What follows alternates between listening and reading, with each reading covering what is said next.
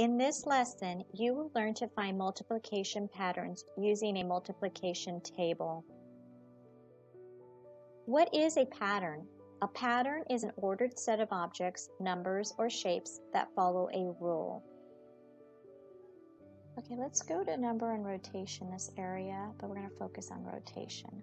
I can see that these two are in the exact same position, every object. But as I move on to these next two, I see a change in rotation and the orange object has moved two times to get to this position. And so I can say that the pattern is you rotate two positions after you repeat twice. Now down here in number and multiplication, let's look at this section here. So we have times 2, and we have 2, 4, 8, 16, 32, 64, 128. Pause the video and see if you can figure out the pattern. So let's start with 4 as just a number on the in this group. I can see that 4 is a number that is two times as many as the previous number, which is 2. See if that holds for 16. 16 is two times as many as 8. It does. 64 is two times as many as 32. So there would be my pattern. All right, let's take a look at a multiplication table and how do you use one. Let's start with a a multiplication problem like 6 times 5. So what we're going to do is we're going to look at this, we're going to find the 6 and a 5. Those are both the factors. And I'm going to draw a line down from 6 to the row of 5 and from 5 to 6. And this is the number where they intersect that gives me the answer. So 6 times 5 is 30. Let's do one more. 9 times 3. Try pausing the video and see if you can find the answer on our multiplication table. So again, you're going to start with 9 and 3. Draw a line down from 9 to 3 and from 3 to 9 and 27 is our answer. 9 times 3 is 27.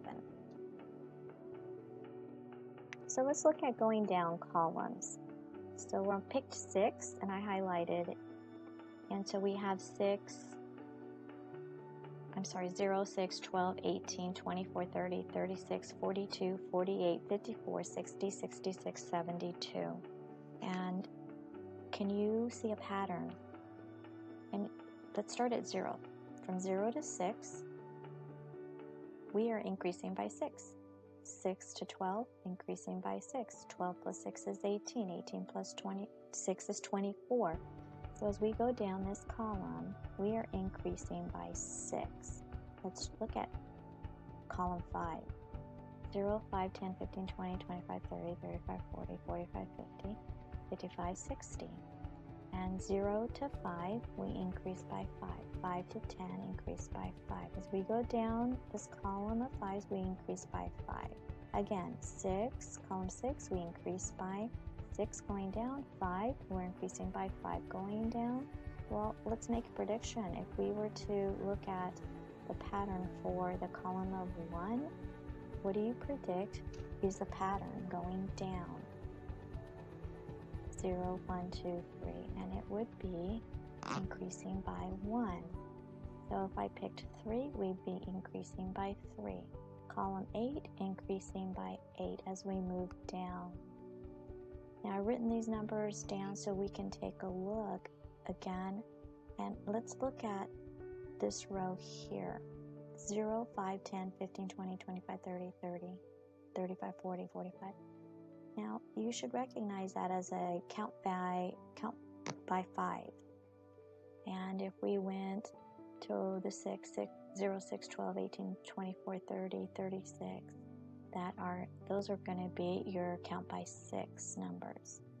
And this 1, 0, 1, 2, 3, 4, 5 that would be your count by ones and twos. If we went to twos, we'd have 0, 2, 4, 6, 8, 10, 12, 14, 16, 18, 20, 22, 24. So also, I also noticed that as you go down the columns, you are you are seeing your count by 12s or your count by 11s going down, and that's why it is important to memorize your count bys because they will help you with your multiplication facts. Now let's take a look at going from left to right of columns 1, 5, and 6. And those are the columns that I've already highlighted. So I'm going to start at this column, move on to this number in this column, and finally to the 6th column. And let's look at 8, 40, and 48. Now if I, when, when I go from 8 to 40, and then finally to 48, I notice a pattern. I'm going to reveal another row, 4, 20, and then 24. So the pattern I noticed is that if I add 8 and 40, I get 48. And if I add 4 plus 20, it equals a sum, uh, it equals a a sum of 24. Finally, 7 and 35 equals 42. So as we go from left to right of columns 1, 5, and 6, you're adding the first two columns, 1 and 5, and it equals the column 6.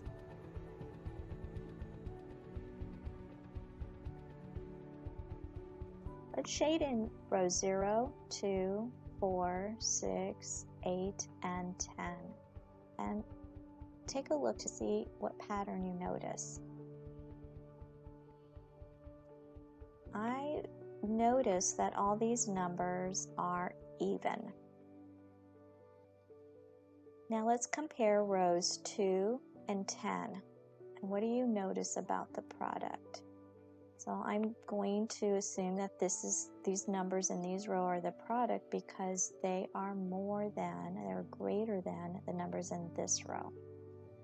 So remember the word product means if I take two factors and multiply them, I'm going to get a product. So if, let's take 60 as our product and 12 is going to be our factor. 12 times what is 60? 12 times 5 is 60. Let's take another 2 and see if we see a pattern.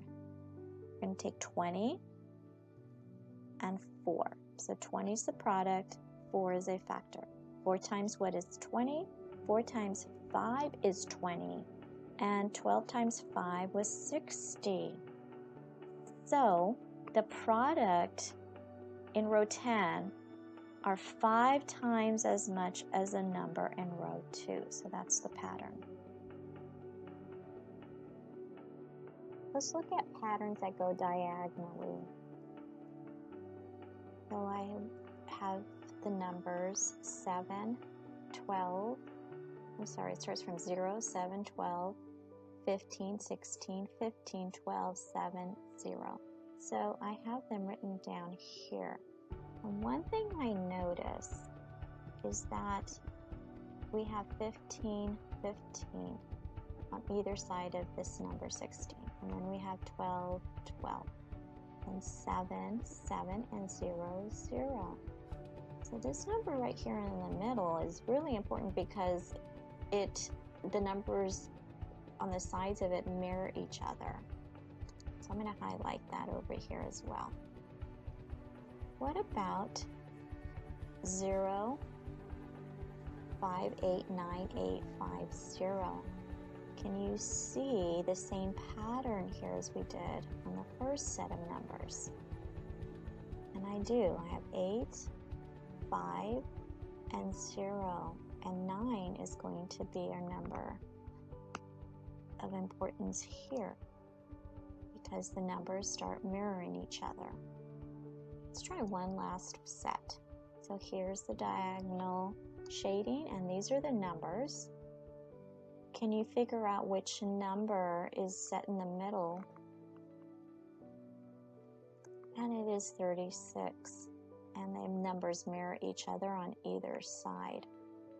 The other thing to, to remember or to see is that 36 is 6 times 6. So double multiplication facts.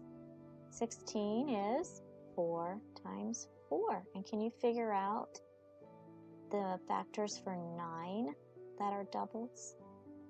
3 times 3.